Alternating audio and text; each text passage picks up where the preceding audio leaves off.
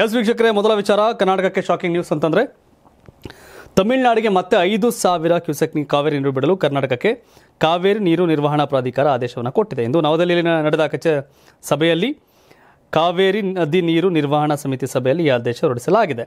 ಪ್ರತಿದಿನ ಐದು ಸಾವಿರ ಕ್ಯೂಸೆಕ್ ನೀರು ಬಿಡುವಂತೆ ಆದೇಶ ನೀಡಲಾಗಿದ್ದು, ಸೆಪ್ಟೆಂಬರ್ ಹನ್ನೆರಡರ ಆದೇಶದಂತೆ ಹದಿನೈದು ದಿನ ನೀರು ಹರಿಸಲು ಕರ್ನಾಟಕ ಸೂಚನೆ ನೀಡಲಾಗಿದೆ ಕರ್ನಾಟಕಕ್ಕೆ. ಅಲ್ಲದೆ ಕಾವೇರಿ ನೀರು ನಿಯಂತ್ರಣ ಮಂಡಳಿಯ ಸಮಿತಿಯ ಆದೇಶ ಪಾಲನೆಗೆ ಸಭೆಯಲ್ಲಿ ಖಡಕ್ ಸೂಚನೆ ನೀಡಿದ್ದು ಆದೇಶ ಮುಂದುವರಿಸುವಂತೆ ಕರ್ನಾಟಕ ಸರ್ಕಾರಕ್ಕೆ ಸೂಚಿಸಲಾಗಿದೆ. ಈ ಹಿಂದೆ ನಡೆದ ಇದೇ ಆದೇಶವನ್ನು ಎತ್ತಿ ಹಿಡಿದಿದೆ. ಇದರಿಂದ ಕರ್ನಾಟಕಕ್ಕೆ ಮತ್ತೆ ನಡೆಯಾಗಿದ್ದು ಸರ್ಕಾರ ಯಾವ ತೀರ್ಮಾನ ತೆಗೆದುಕೊಳ್ಳಲಿದೆ ಅನ್ನೋದನ್ನು ಕಾದು ನೋಡಬೇಕಾಗಿದೆ. ಸೋರ್ಕೆ ನೀರೇ ಎರಡು ಮೂರು ಸಾವಿರ ಟಿ ಎಂ ಸಿ ಕ್ಯೂಸೆಕ್ ಹೋಗ್ತಿರುತ್ತೆ ಪ್ರತಿದಿನ.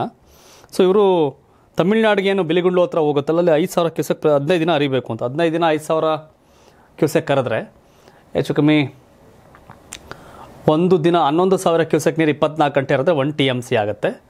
ಒಂದು ಏಳು ಟಿ ಎಂ ಸಿ ನೀರು ಈಗ ಬಿಡಬೇಕು ಅಂತ ಹೇಳಿದ್ದಾರೆ. ಸೆಪ್ಟೆಂಬರ್ ಹನ್ನೆರಡರ ಆದೇಶ ಅಂತ ಹದಿನೈದು ದಿನ. ಅದು ಸೋರ್ಕೆ ನೀರೇ ಹೋಗ್ತಿರುತ್ತೆ. ಎರಡು ಮೂರು ಟಿ ಎಂ ಸಿ ಏನಾಗುತ್ತೆ ನೋಡಬೇಕು ಈಗ ಮುಂದೆ. ಬಟ್ ಈಗಾಗಲೇ ಮಂಡ್ಯ ರೈತರು ಅವ್ರ ಬದುಕು ಬೀದಿಗೆ ಬೆಳೆ ಸಾಯ್ತಿದೆ. ಬದುಕು ಕೂಡ ಸಾಯ್ತಿದೆ. ಸರ್ಕಾರದವರು ಫಸ್ಟ್ ನೀರ ಬಿಟ್ಬಿಟ್ರು.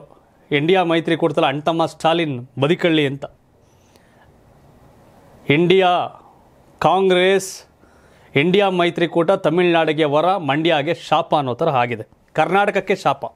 ಈ ವಿಚಾರದಲ್ಲಿ, ಕಾವೇರಿ ವಿಚಾರದಲ್ಲಿ ಅವ್ರು ತೆಗೆದುಕೊಂಡಂಥ ನಿಲುವು ಮೊದಲು. ಅದಾದಮೇಲೆ ಏನೋ ಸಭೆ ಗಿಬೆ ಮಾಡ್ಕೊಂಡವ್ರೆ. ಬಟ್ ಮೊದಲ ಹೆಜ್ಜೆಯನ್ನು ಇಟ್ ಮಾಡಿದರು ಸಿದ್ದರಾಮಯ್ಯ, ಡಿ ಕೆ ಶಿವಕುಮಾರ್. ಏನೋ ಕಾವೇರಿ ವಿಚಾರ ಆಯಿತು ಅಂದರೆ ಮುಂದಿನ ವಿಚಾರ.